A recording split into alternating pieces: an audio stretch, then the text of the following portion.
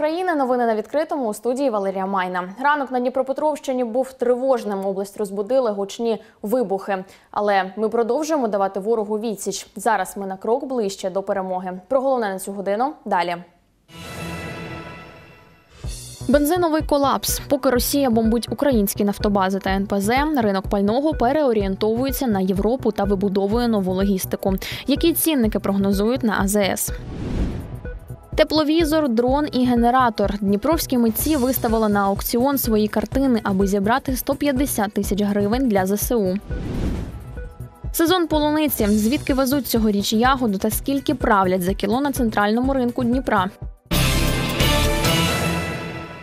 Про це та інше більш детально. Черга до АЗС на ній з'явилося паливо. Асортимент не надто широкий. Зазвичай сьогодні на заправках є дизель, бензин рідше. Проте діють обмеження до 20 літрів в один бак. Ця норма продиктована дефіцитом пального та підвищеним попитом, наголошують експерти нафторинку.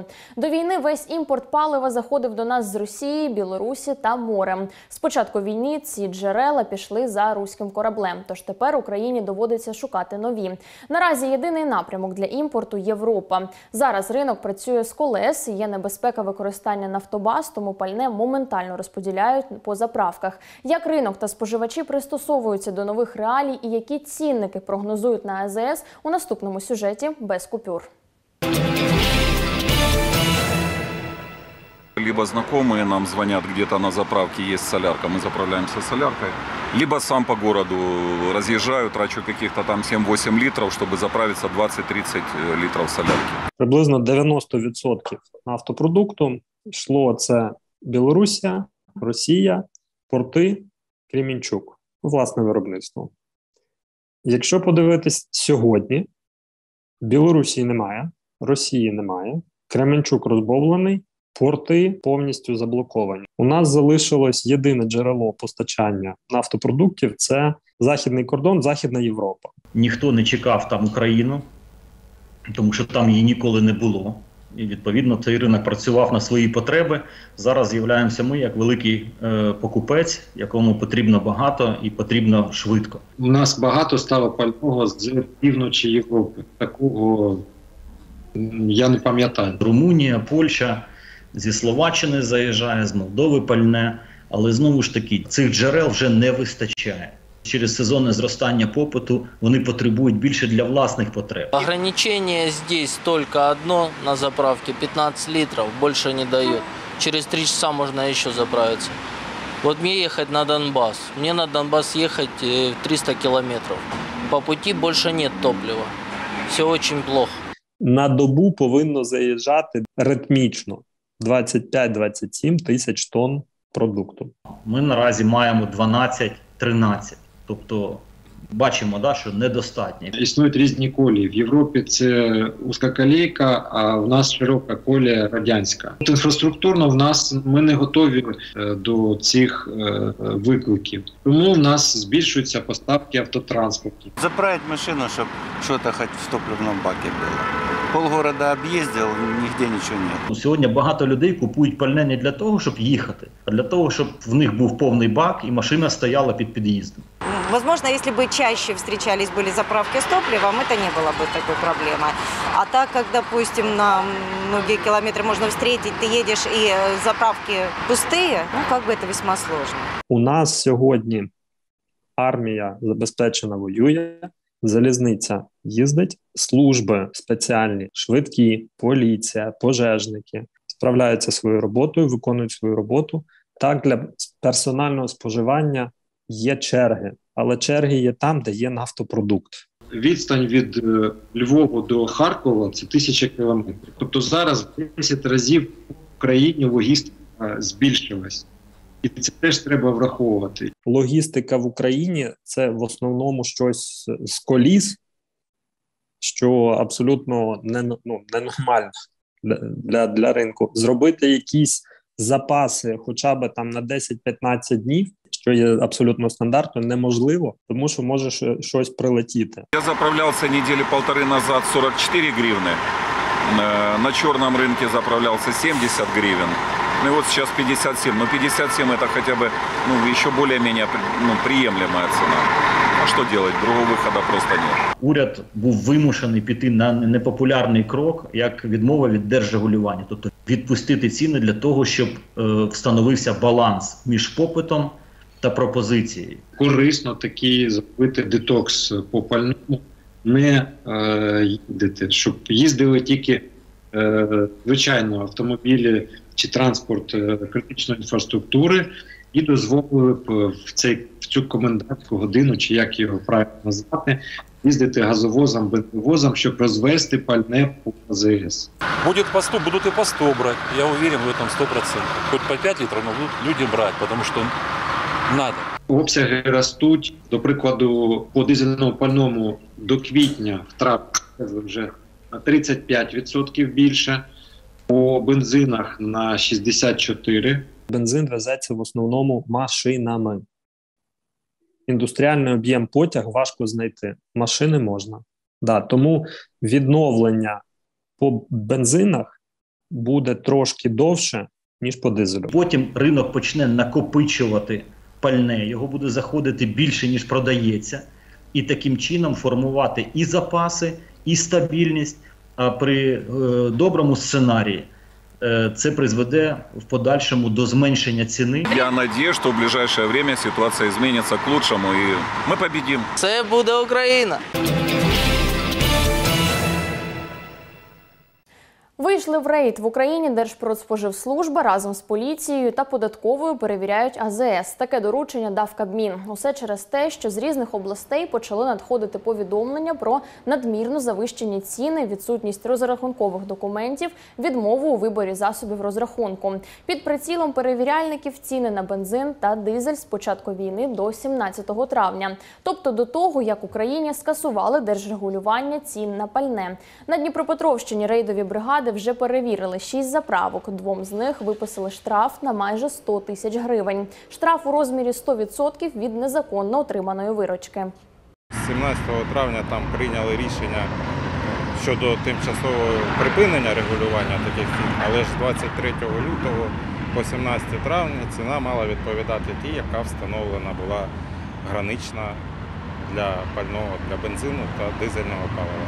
Сенс таких перевірок в тому, щоб виявити суб'єктів, які не дотримуються встановлених цін, та зобов'язати їх, по-перше, ну, встановити ціни, які відповідно мають бути, і притягнути до відповідальності. Там же ж дешевше було по 35.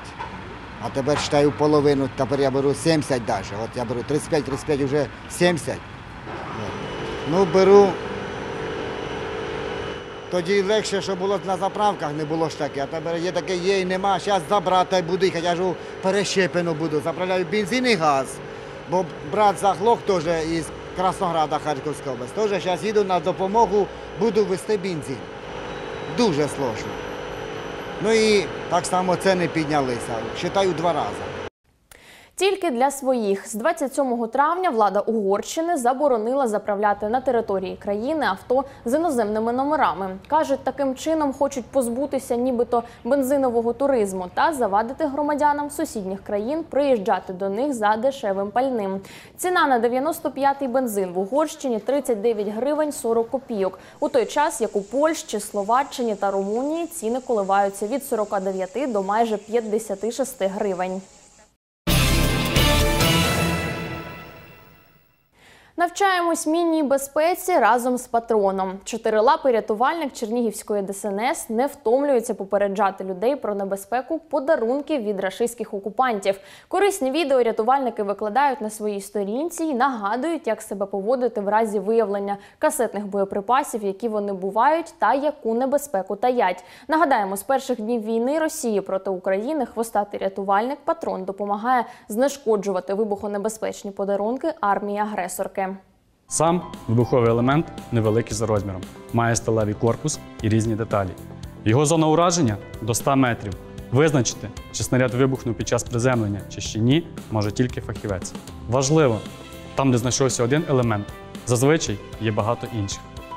Тож будьте обережні, якщо побачили снаряд або ж попереджувальне маркування у вигляді біло-червоної стрічки чи знаків, не підходьте, не чіпайте, повідомте про небезпеку людей навколо. Телефонуйте 101. Патрон, я все сказав? Бережіть себе. Кажемо до побачення. З литовища у Гостомелі вивезли рештки найбільшого вантажного літака планети Ан-225 Мрія, який понівечили російські окупанти. На жаль, він відновленню не підлягає. Уламки відправлять на утилізацію. Цей літак став символом України та справжнім інженерним дивом для всього світу. Під час пандемії ковід мрія розвозила по різних країнах великі партії захисних масок, костюмів, окулярів, дезінфекторів та апаратів ШВЛ. У деяких видах перевезень Ан-225 не мав конкурентів. Нагадаємо, найбільшу вантажну пташку світу рашисти знищили 24 лютого.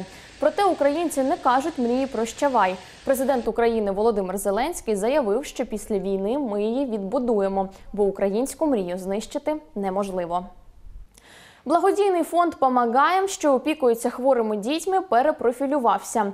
Нині на часі допомога переселенцям. Фонд вже має такий досвід. У 2014-му, коли жителі Донбасу тікали від руськомирівців, «Помагаєм» створив шелтер в одному із сіл Дніпропетровщини. Тоді він пропрацював два місяці і прийняв понад 700 людей. Тепер прихисток поновив роботу, і 700 людей прийняли лише за перші два тижні війни. Та шелтер не єдиний напрямок роботи. Переселенцям, які зупинилися у Дніпрі, надають гуманітарку, продуктовий кошик, засоби гігієни, посуд та одяг. Як працює благодійний фонд «Помагаєм» у воєнний час? Анастасія Вільхова розповість. Коли почалась війна, помагаємо один з перших, хто став надавати допомогу тут і зараз. Фонд одразу ж розгорнув свій шелтер. Переселенці везуть у село неподалік Дніпра. Опікуються насамперед сім'ями з дітьми та людьми з інвалідністю, старенькими. Ми знов працювали, е, влаштували шелтер. Він е, прийняв вже, здається, скоро буде три тисячі людей за час війни. Е, І знову ми працюємо, ми видаємо е, речі і продукти переселенцям. З кожним днем війни переселенців на Дніпропетровщині і насамперед в обласному центрі ставало все більше. Тому фонд відкрив ще один напрямок роботи гуманітарні кошики. Їх за останні півтора місяці видали майже чотирма тисячам сім'ям, які оселилися у Дніпрі. Кожна гуманітарна торбинка індивідуальна. Это разные каши, консервы, хлеб, э, овощи, фрукты э, бывают, да, э, вот. И гигиена, ну, самое необходимое – это мыло, порошки, э, шампуни, гели для душа, э, моющие, э, пасты, зубные щетки тоже часто даем. Вот, и если это семья с детьми, то все, все, что нужно для малыша, мы все даем. То есть это памперсы, это детское питание, это смеси, фруктовые пюрешки, э, какие-то бутылочки, если у нас есть. Чималий попит і на одяг. Його тут можуть вибрати не лише переселенці, а й місцеві. Многие из Днепра приходят, там те же мамочки, там, не знаю, многодетные, либо там одинокие. Поэтому вещей, мне кажется, мы очень многим помогли. У нас вещей всегда очень много, э, как, как вы видите. Вот, мы их постоя- постоянно обновляем, поэтому я думаю, очень больше, чем, наверное, тысяч десять за это время. Зараз головні донори фонду колеги та друзі з Італії, Німеччини, Австрії, Іспанії та Норвегії. Попит на гуманітарку збільшується щодня. Дуже великий ажіотаж, е, тому е, ми вирішили, що будемо вида- видавати е, переселенцям, які мають менше двох дітей, будемо вида- видавати один лише раз одноразову допомогу. Бо в Дніпрі насправді по підрахункам мерії біля 200 тисяч переселенців, тому черги величезні. І щоб вони були трохи менші, ми хочемо ну, хоча б так розподілити цю допомогу е, рівномірно.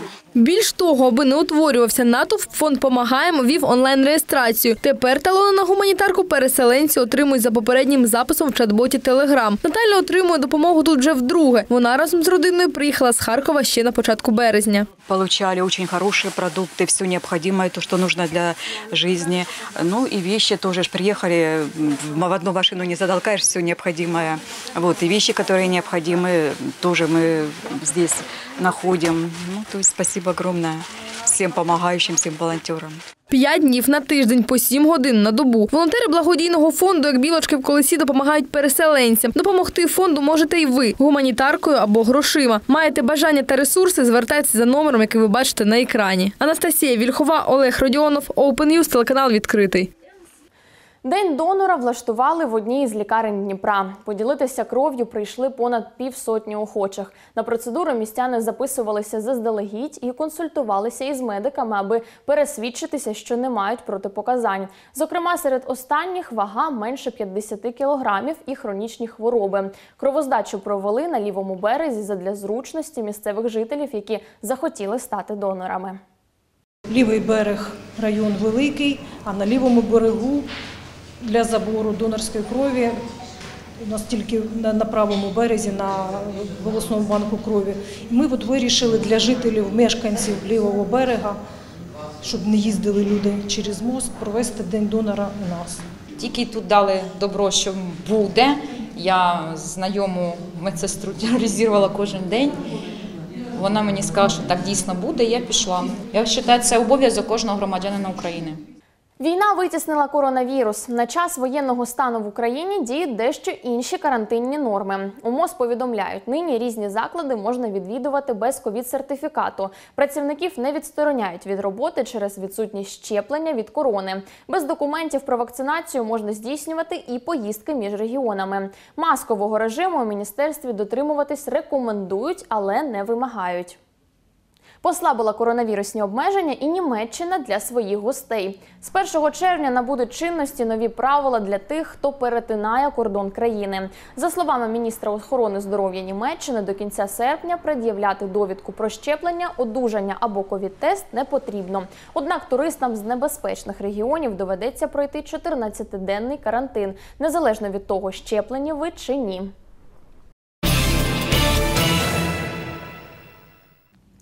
Купив картину, врятував життя українському бійцю. У Дніпрі проходить арт-аукціон. На ньому виставили майже дві сотні робіт: живопис, фотографія, цифровий арт, художні різьблення. Продають навіть ескізи татуювань. Усі виручені кошти через благодійну біржу направлять на закупівлю спорядження для військових. Триватиме арт-продаж до 28 травня включно. У якому форматі проходить аукціон та які роботи представили художники, наша Ольга Величко розкаже.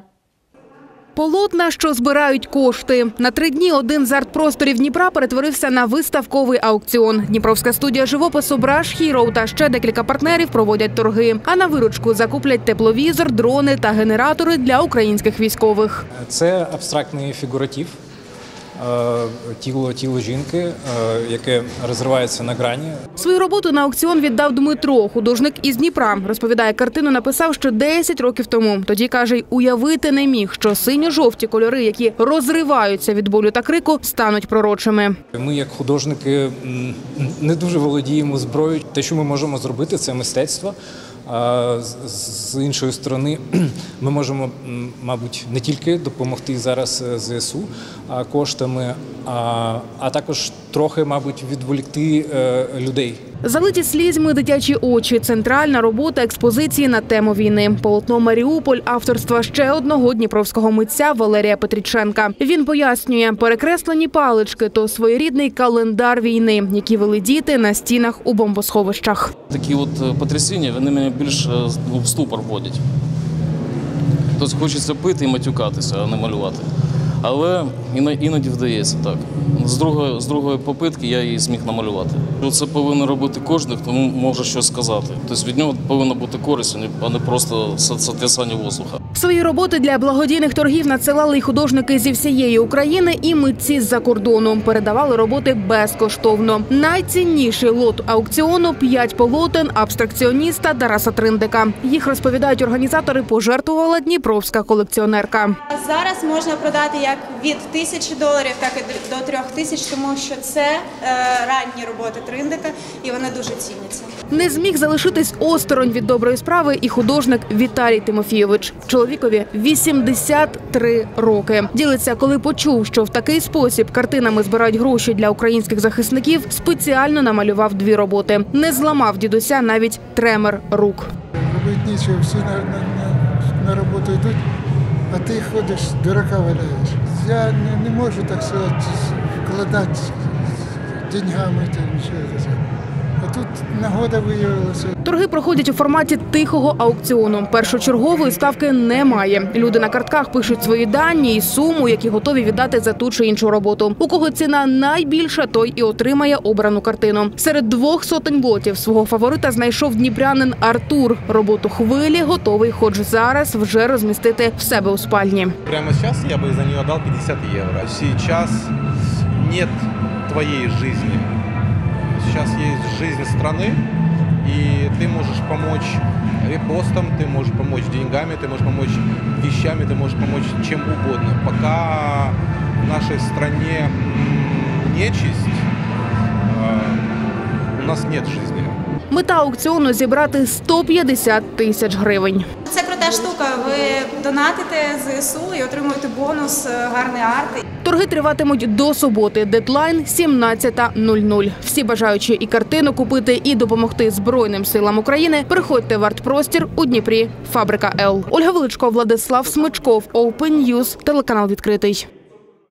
А гурт Калуш Оркестра, переможець міжнародного пісенного конкурсу Євробачення 2022 для збору коштів на допомогу ЗСУ, віддав свій трофейний кубок та рожеву панаму. Музиканти проводять аукціон з благодійним фондом Сергія Притули. Буде дві акції: перша розіграш рожевою панаму, у якій виступав фронтмен гурту Олег Псюк. Для участі треба задонатити до вище зазначеного фонду від 200 гривень. Переможця оберуть рандомно. Тож що більше донатів, то більше шансів отримати легендарний капелюх. А ще відбудеться аукціон, на якому продадуть кришталевий кубок мікрофон. Його отримає той, хто зробить найбільший внесок. Розіграш вже стартував. Завершення 28 травня о 19-й. Усі отримані кошти на потреби українського війська.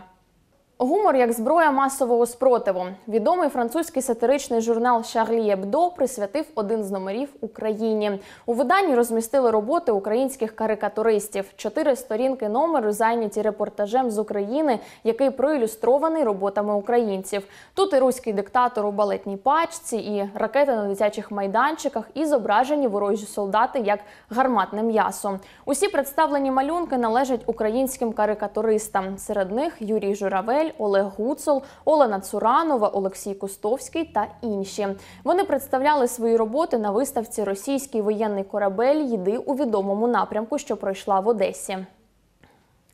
Соковита, червона та з присмаком літа в Україні сезон полуниці ґрунтової. Вона смачніша та корисніша за тепличну, адже дозріває під сонячними променями. А от тепличну ягоду цьогоріч почали продавати на кілька тижнів раніше ніж у 2021-му. Попит на полуницю великий, та через війну її менше. Яка вона полуниця у війну? Дізнавалась знімальна група відкритого. Прилавки центрального ринку Дніпра вже червоніють ягодами. Полуниця соковита, запашна і корисна. Торгуємо, мабуть, неділі дві. Спочатку вона була в парничку, зараз відкритий ґрунт. З Нікополя нам привозять.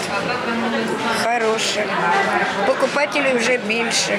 Постачають сезонну ягоду із різних куточків Дніпропетровщини. Та от врожай соковитої із Херсонщини цьогоріч українці, на жаль, не скуштують. Бо з тимчасово окупованої території ягоду вивозять до Криму або найближчих районів країни-агресорки. Царичанский район, село Родянск. Оттуда привозят. Кулари, он очень сладкий сорт. Есть кану, есть мармеладка. Ну, они разные бывают. Вчера сладше было. Сейчас погоды нет, она не сладкая. Ягоди на будь-який смак вирізняються за розміром, пружністю та видом. Панелька вот идет, тоже она сладкая, нежная идет, не резиновая. Есть джоли, э, джоли вот это, что по 150. Она более капризная, урожайность э, малая, сладкая, нежная.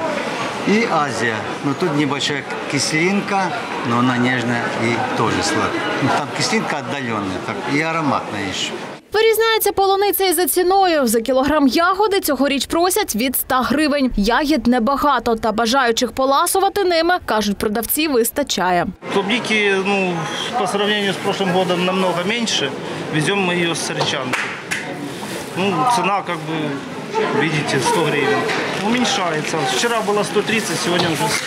Дніпрянка Людмила щороку чекає на сезон полуниці. Каже, це її улюблена ягода. Купує зазвичай на піку сезону, а зараз не ризикує купувати більше кілограма. За раз вот килограмм пока достаточно. Будет сезон, 3 килограмма куплю. Будем жить, будем есть. Головна ознака свіжості полуниці зелений хвостик, кажуть продавці. Стигла полуниця яскраво червоного кольору, блискуча та має приємний аромат. Якщо ж ягода твердувата або зеленувата, це означає, що вона не дозріла. Свежесть, видите, свежесть идет по хвостах. Плюс. Ну, я, я как э, продавец, я могу показывать, что там нету ни гнилого, ничего. Что она свежая. Свежая только вот сегодня взял, сегодня продал, на следующий день вторую можно брать партию. Дніпрянка Вікторія купує ягоду щосезону, а обирає ще й за ціною. Ну, внешне пахнет на вкус ну, по-разному. Раз на раз не приходится. Как она упала в цене, уже, конечно, дешевле. 100 гривен, ну, это лучше, чем 170. Цьогоріч полуницю везуть в Україну із інших країн. Та й своєї вистачає, зазначив керівник проєкту АПК «Інформ. Овочі та фрукти Олександр Хорев. Погода для вирощування була сприятливою. Від 2021 року, каже, ціна не відрізняється. Та от експорту не буде. Всередині країни ціна на ягоди залежатиме від вартості палива та складності перевезення між областями. Згодом підуть е, ягоди трохи інших сортів е, з західних областей і з північних, північних центральних. Це Київ, е, Рівне, Житомир, Волинь, е, Львів. Одразу треба відмітити факт е, споживачів. Їх стало набагато менше. І головні споживачі це наші діти і жінки. Вони мігрували. Попри війну, життя триває. Україна багата на різні фрукти та овочі, і ми не залишимося без смачних вітамінів цього літа. Вікторія Вахрушина, Олег Родіонов, Open News, телеканал відкритий. Міський голова Дніпра зустрівся з призерами 24-ї дефлімпіади та їхніми тренерами. Борис Філатов подякував спортсменам за гідне представлення нашої країни на міжнародній арені та вручив сертифікати на суму майже півтора мільйона гривень. Літні дефлімпійські ігри пройшли у Бразилії. У складі збірної України були 39 спортсменів з Дніпра.